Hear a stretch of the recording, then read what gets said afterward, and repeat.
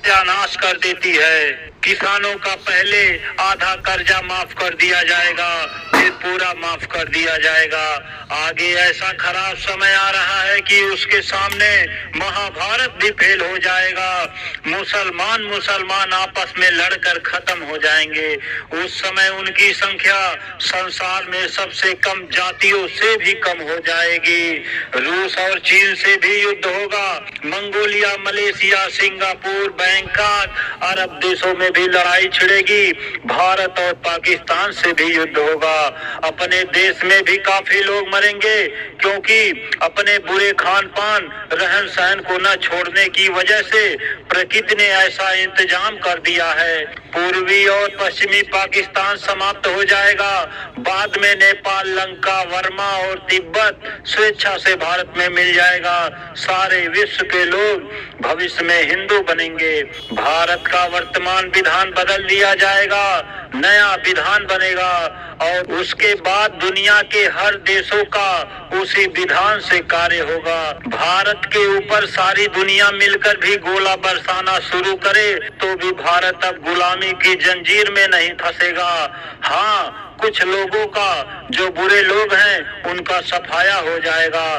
दिल्ली राजधानी नहीं रहेगी। बदल कर पचास मील के ऊपर, सौ मील के अंदर पर राजधानी बनेगी। क्योंकि दिल्ली इतना अशुद्ध और अपवित्र जगह हो गई है, जहाँ की नारियाँ भी शराब पीती हैं। बड़े बड़े लोग तो पीना शान समझते ही हैं। अमेरिका और चीन में झगड़ा होगा, रूस और चीन में भी मन मुटाव होगा। चीन अमेरिका पर बम गिराएगा, अमेरिका के बहुत से शहर बर्बाद हो जाएँगे। अमेरिका चीन पर हमला करेगा और उसे नष्ट भ्रष्ट कर देगा। चीन की जनसंख्या बहुत कम बच पाएगी। जो कुछ बचेंगे, उनकी रक्षा भारत करेगा। अतिवृष्टि, अनावृष्टि, भूकंप, तूफ़ान, अन्न की कमी, दवाइयों की कमी, इतनी हो जाएगी कि लोग त्राह त्राह कर काल कौलित होते नज़र आएँगे। एक रुपए वाली दवा का दाम सौ सौ रुपए से भी अधिक हो जाएगा। बिना तोड़ फोड़ हड़ताल, जो अनशन के ही भारत में गऊ का काटना बंद हो जाएगा। आगे बहुत बड़ा भूकंप आने वाला है, जिसकी अभी कोई कल्पना नहीं की जा सकती।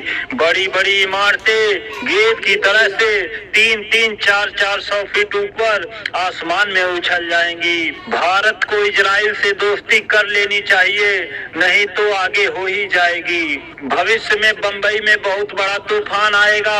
और बम्बई का बहुत सा भूभाग समुद्र में डूब जाएगा। कोहराम मचने पर जब त्राहिमाम त्राहिमाम होगी, तकलीफें बढ़ जाने पर अन्न और पानी के बिना देश और विदेशों में करोड़ों लोग बेमौत मरेंगे। उस समय एक मिनट में भगवान याद आ जाएगा। भारत में महान आत्मा का जन्म हो चुका है, जिसकी उम्र तीस साल के ऊपर है। उन्नीस सौ बहत्तर, अयोध्या। आगे एक जालिम आएगा जो राजनीति के भ्रष्ट लोगों को अकेले ही समाप्त कर देगा।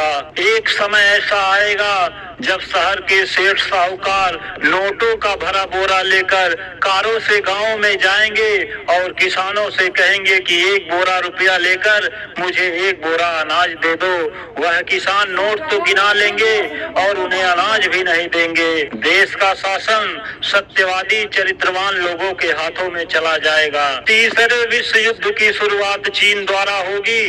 वह सीधा अमेरिका के नगरों पर अणुबम छोड़ देगा। अमेरिका रूस मिलकर चीन को नेस्तनाबूद कर देंगे। चीन की बची आबादी भागकर भारत की शरण लेगी। भारत पर फेंके गए एटम बम तथा हाइड्रोजन बम महात्माओं द्वारा फूल की तरह उतार लिए जाएँगे। फूटने ही नहीं पाएँगे। जो थोड़े से फूटेंगे, उससे मांसाहारियों, शराबियों, कबाबियों का सफ़र हो जाएगा। आज हिंदुस्तान में इतने साधु महात्मा हो गए हैं कि अगर वे एक एक गाँव को पकड़ लेते तो समाज में खराबी ना आने पाती। समय बड़ा ही भयंकर है। चारों तरफ़ कोहराम मचने वाला है। लोग भागेंगे, तड़फेंगे, चिल्लाएँगे, हाहाकार करेंगे, फरियाद करेंगे और उनकी सुनने वाला कोई नहीं होगा। उनकी रक्षा पृथ्वी पर कोई करेगा। तो वह है जय गुरुदेव, यह परमात्मा का नाम है। समय आ रहा है, जबकि भाड़ में डालकर जैसे कोई वस्तु भून दी जाती है, उसी प्रकार इंसानों की भुनाई होती नज़र आएगी। तब एक नया इतिहास लिखा जाएगा। समय बहुत खराब आ रहा है।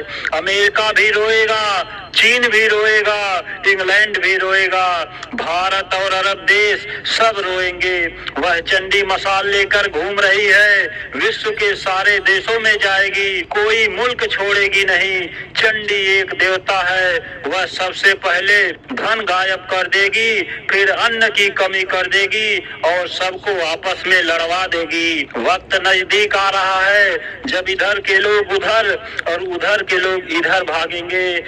चारों तरफ़ भगदड़ मचेगी। 20 नवंबर सन 2000 मथुरा। देखिए भाइयों, यह भविष्यवाणी परम संत बाबा जय गुरुदेव जी महाराज की है।